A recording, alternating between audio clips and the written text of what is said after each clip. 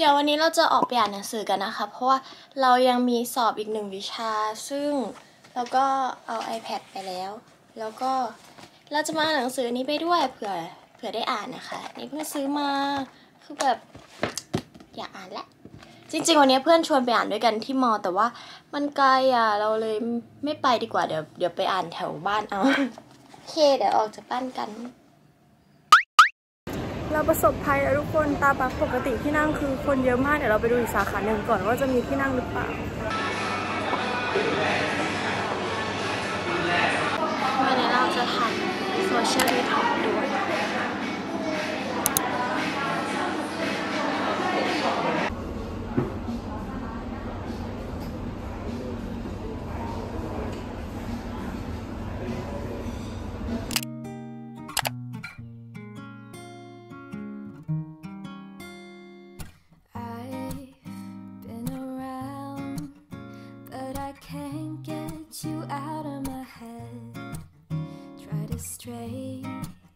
try to forget, but the thoughts they seem to drown me instead.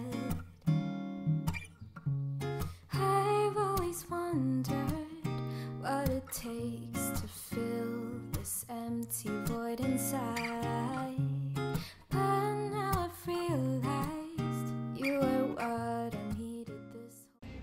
งสือแล้วก็จดสรุปไปแล้วหนึ่งรอบนะคะ แล้วเดี๋ยวเราค่อยกลับมาทวนอีกรอบ แต่ว่าระหว่างนี้เนี่ยเราก็จะพักด้วยการไปอ่านหนังสือที่เราอยากอ่านกันก่อน ซึ่งแบบว่าเป็นอะไรที่ดีมากที่เราแบบตัดสินใจทำ social detox ในช่วงนี้ เพราะว่ามันเป็นช่วงแบบใกล้สิ้นปีแล้วเรามีกิจกรรมหรือว่ามีอะไรที่อยากทำเยอะมาก การที่ทำ social detox เนี่ยมันทำให้เราได้ทำอะไรหลาย ๆ อย่างโดยที่แบบว่า ไม่ใช้เวลาบนโซเชียลมากเกินไปอะไรอย่างนี้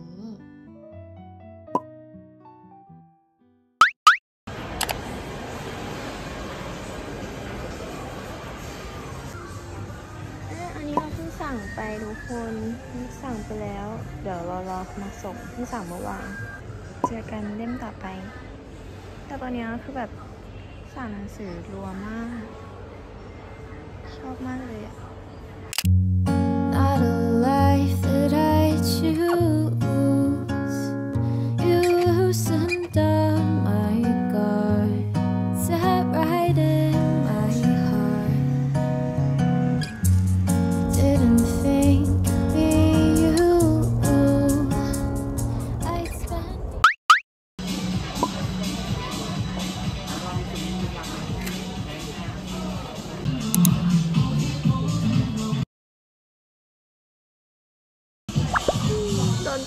แล้วมันน่ารักมากเลย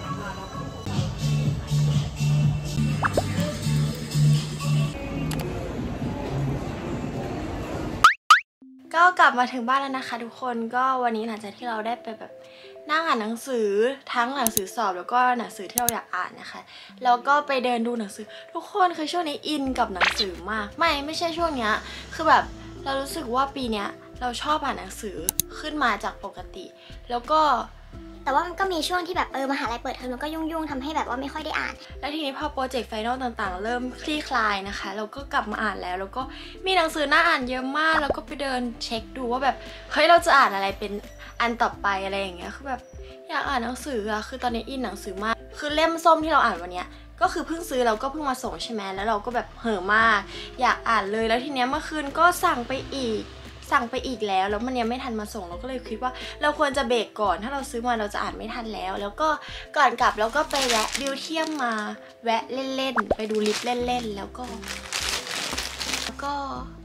ได้ลิฟมาเล่น ก็คืออันนี้นะคะเป็นลิปพลิเพล่าแล้วก็ไม่ได้เห่อเท่าไหร่ก็คือทาเลยด้วยซ้ำนี่น่ารักมากเลยอะแล้วก็ซื้อ อันนี้คือ lip balm ลิปมันที่บ้านหมดพอดีก็เลย ลองเปลี่ยนมาใช้ยี่ห้ออื่นดูบ้างอะแล้วก็วันนี้ทำ social detox อยู่ด้วย เพราะว่ารู้สึกว่าอยากจะมีสติในการอ่านหนังสือ อยากจะแบบไม่ไม่มีสิ่งรบกวนใด ๆ ก็เลย เออ พักโซเชียลบ้างละกันก็ เดี๋ยวเราก็จะไปไป ไปกินข้าวเย็น โอเค บ๊ายบาย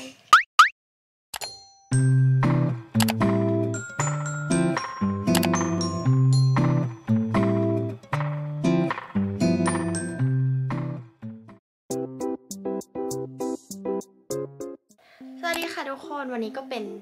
วันอยู่บ้านชิวๆนะคะ เราไม่ได้ออกไปไหน สภาพก็จะแบบว่าชิวๆนิดนึง แต่ว่ามีเรื่องที่น่าตื่นเต้นก็คือพัสดุมาส่งเป็นพัสดุที่เรารอคอย ไม่ใช่อันนี้แต่เป็นอันนี้ ซึ่งให้ถ่ายว่าแพ็กเกจแบบนี้คืออะไรคืออะไร คือแบบในคลิปนี้เราก็แกะมาสองรอบแล้ว ก็เดี๋ยวเราจะมาunbox ไปพร้อมกันเลย อบอะแล้วคือแบบเขาแพ็คมาดีตลอด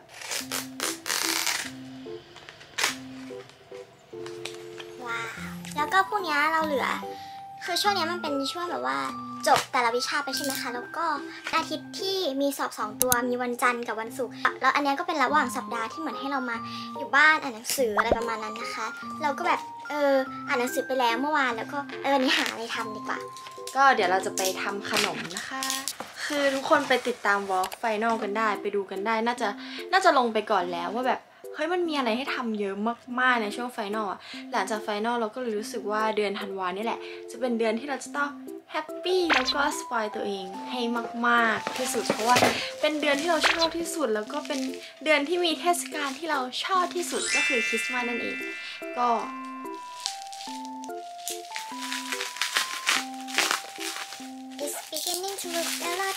like Christmas ว้า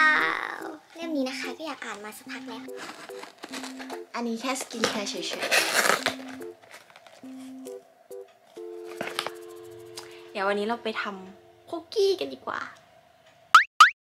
มาทำคุกกี้กันดีกว่า คือถ้าใครติดตามเรามานานแล้วก็จะรู้ว่าเราเป็นคนที่ชอบทำขนมมาก แล้วก็รู้สึกว่าอยากจะทำขนมเยอะ ๆ อะไรอย่างเงี้ย แล้วก็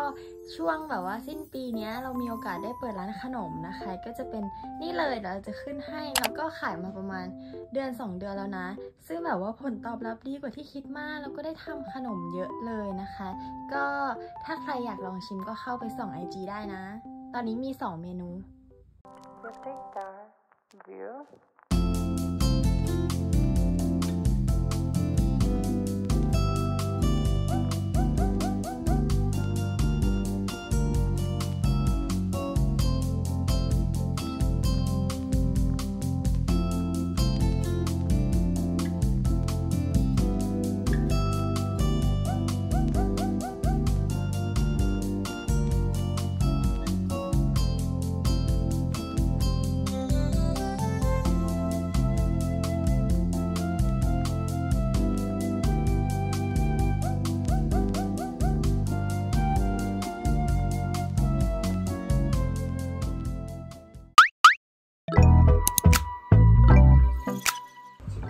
อยากกิน มีคนอยากกิน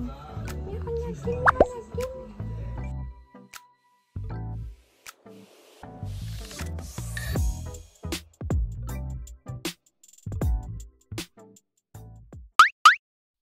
ช่วงเวลากลางคืนของเรานะคะ ก็จะเป็นช่วงที่เราชอบอ่านหนังสือไม่ก็จดนู่นนี่นั่นนะคะ และเล่มนี้ก็จะเป็นสมุดไดอารี่ของเราเอง คือเราเขียนมาตลอดทั้งปีเลยนะ ก็จะเป็นแบบว่าสมุดที่เราเขียนทุกอย่างไว้เยอะมาก ๆ เลย เขียนแบบ ไม่ว่าจะเป็นแบบ to do list หรือว่าเป็น goal หรือว่าเขียนแบบว่าไดอารี่ของแต่ละวันอะไรอย่างเงี้ย ทั้งมีเรื่องดีๆ เกิดขึ้นหรือว่าเรื่องไม่ดีอะไร เราก็จะเขียนลงไป มันก็จะทำให้เรารู้สึกว่า เออ ดีขึ้น หรือว่าถ้ามีเรื่องดีๆ เนี่ย เราก็อยากจะบันทึกไว้ แล้วก็นี่จะเป็นสมุด planner ของปี 2024 นะ อันนี้เราซื้อไว้แบบ ไว้แบบถ้าเกิดว่าเราอยากจะกลับมาจด planner ในสมุดอะไรอย่างนี้ในปีหน้าซึ่งมันน่ารักมาก พิกัดของน่ารักอะไรอย่างนี้ทุกอย่างในคลิป เราก็จะใส่ไว้ในคอมเมนต์นะ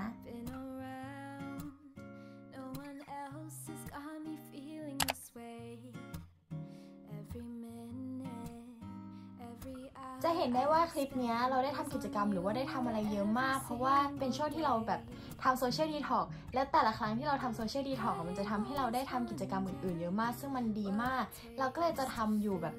เรื่อยๆ เลยทำอยู่เป็นช่วงๆ คือ เราจะไม่ได้เน้นทำนานอะแต่ว่าแบบแค่อยากให้ได้พักบ้างเพื่อนๆก็ไปลองทำดูนะ แล้วเจอกันคลิปหน้าค่ะ